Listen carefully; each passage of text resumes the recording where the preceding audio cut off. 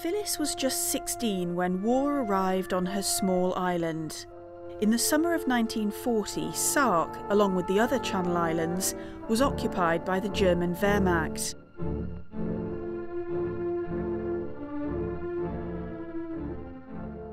I think it was 10 and a sergeant. They had brought a car over and uh, they were giving the children rides in the car. They were men with families themselves and they missed their own children, you know. I think it was decided nobody wanted to leave, not the islanders.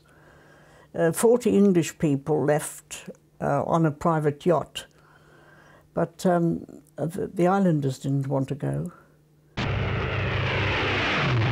German planes bombed Guernsey and Jersey, killing 44 people.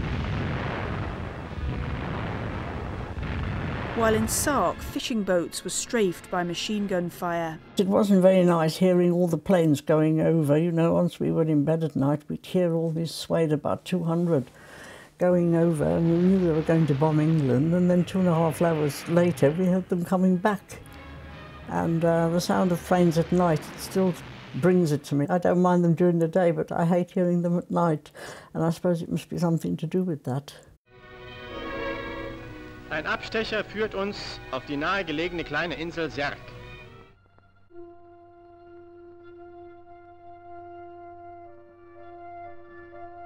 German soldiers took over houses, and dozens of islanders were deported to prison camps in Germany.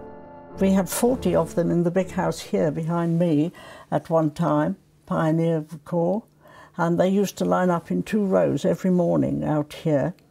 And um, we were just at the farm just below, and we, they'd start to sing, and it was beautiful, all in parts. We would hear them singing every, every morning when they marched from here down to the Bel Air for some reason. I don't know, before they started the day, I suppose.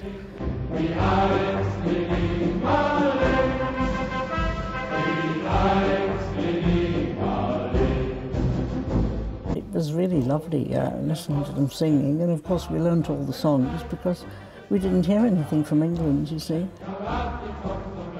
An order was posted that all Sark children must learn German. Phyllis, a farmer's daughter, became star pupil. Now, that was started in June, and in December it was announced that the Dame and the German officers would be coming to school to see what progress had been made. And the Dame was going to present a prize. Of course, everybody knew who was going to get the prize. I was the only one who was interested. And I had to recite, I have it still to this day, a whole uh, poem from Goethe and uh, seven verses of it. So then I was interpreter to all the German doctors after that, till the end of the occupation, seven of them in all. They wouldn't go to the German doctor without me, and the German doctor wouldn't go to them without me because uh, the old ones, the first three who came, couldn't speak English. So I had perforce to go along. But anyway, I've never regretted it. It was a wonderful education for me, an experience.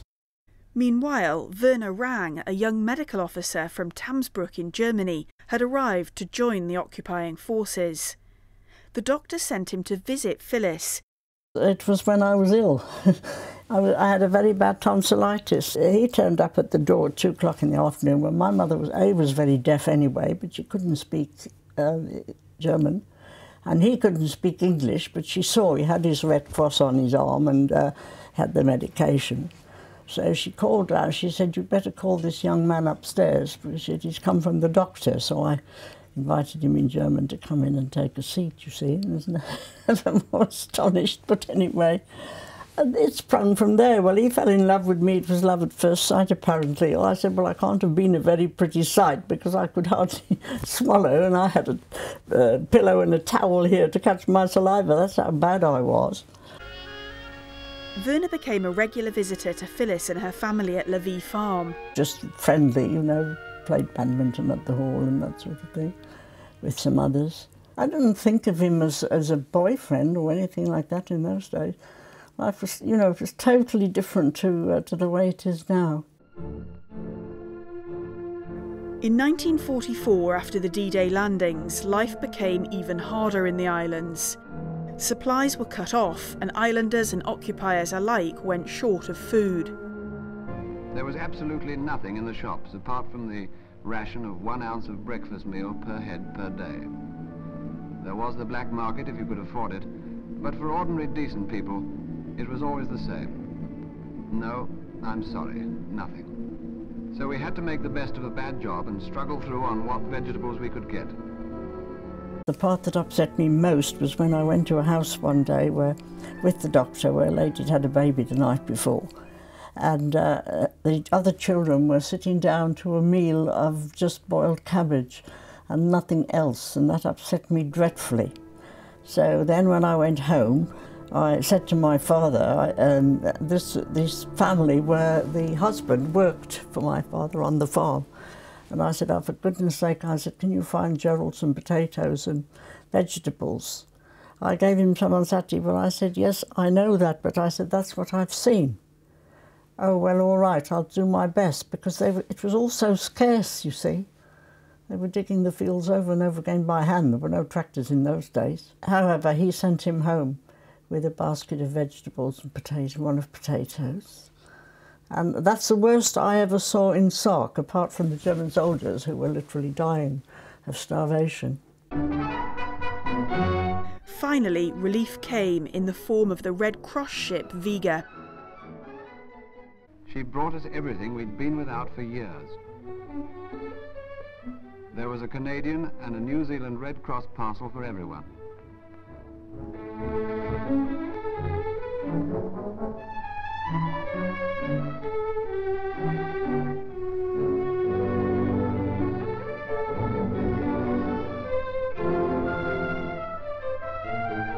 Then in March, the Vega came again.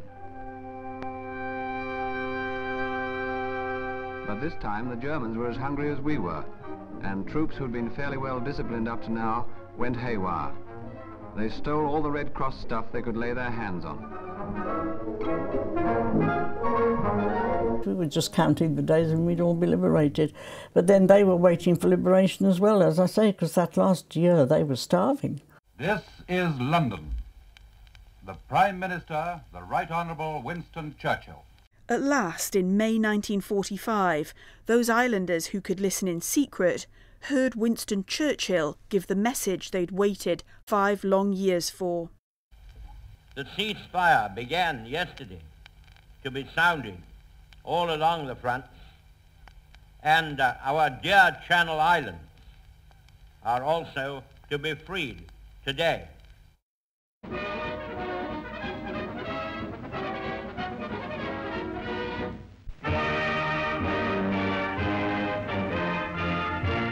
There was joy in the heart of everybody that sailed to Guernsey in the destroyer Bulldog to bring freedom to the Channel Islands. Off the coast, the destroyer anchored near to a rusty German minesweeper, from which came a representative of the enemy command. He was Lieutenant Zimmermann, a young man with all the most odious Nazi characteristics. He said he was not empowered to surrender, but only to discuss terms. When it was made clear that there would be no discussion, he returned to his ship for further orders. He had the audacity to hint that unless our destroyers withdrew until midnight, it might be the worse for them.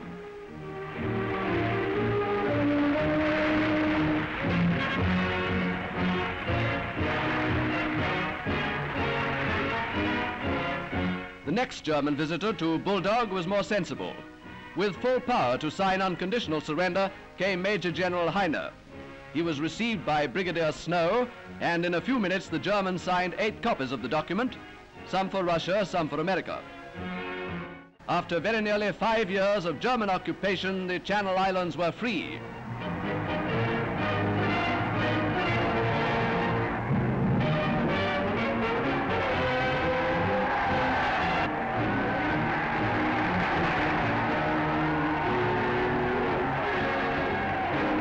German Guard was relieved of its duties. German soldiers were taken as prisoners of war and put to work. The Germans have the thoroughly unpleasant job of removing the 200,000 mines they laid in the four islands.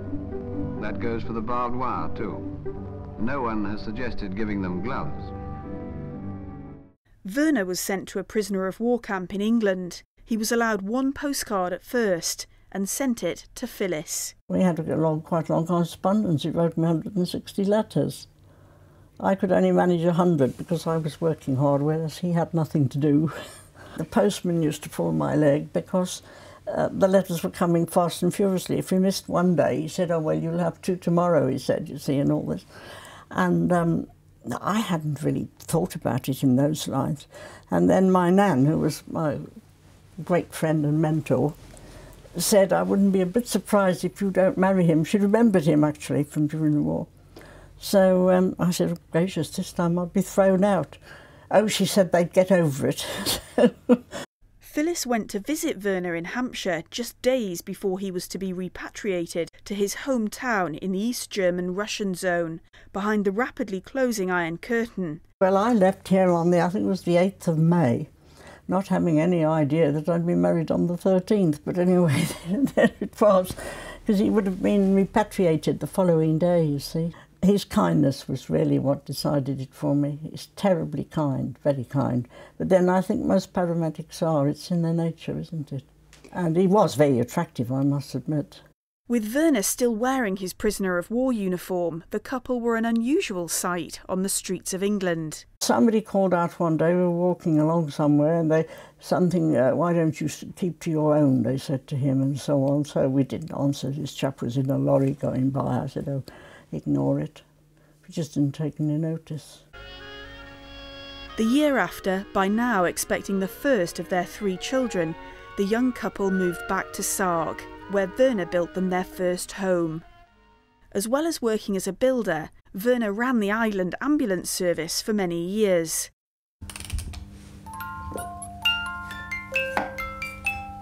The couple also opened a jewellery shop on the high street. They used to tell all the visitors about us. And I felt like some sort of sideshow. One, one came, stood on the step of the shop and said, oh yes, that's her. This sort of thing. And I thought, oh gracious. And she said, uh, have you any German relics left? And I said, yes, one. and then Henry and I thought afterwards I shouldn't have said it, but anyway, it's all got a wicked sense of humour at times my BMW here. you got Phyllis believed that although the Sark way of life survived the occupation, in recent years the island changed. Not least with the end of its feudal system of government, in which she sat for many years as one of 40 landowners the incomers, they like, they, oh, it's wonderful, that's why they come. And as soon as they've been here five minutes, they're wanting to introduce English ways of life. Some of them even want street lighting. Well, I mean, who's going to pay for it at 41 pence a unit? And we don't need it. We use a flash lamp and that's it. I mean, we're in decline. And of course it'll change. When you say you're in decline? Well, the, the islanders are. I think we're in a minority. Well, I'm sure we're in a minority now, the true islander. We have a saying, we see them come and we see them go, but it's true. And yet here we're, we're still there forever.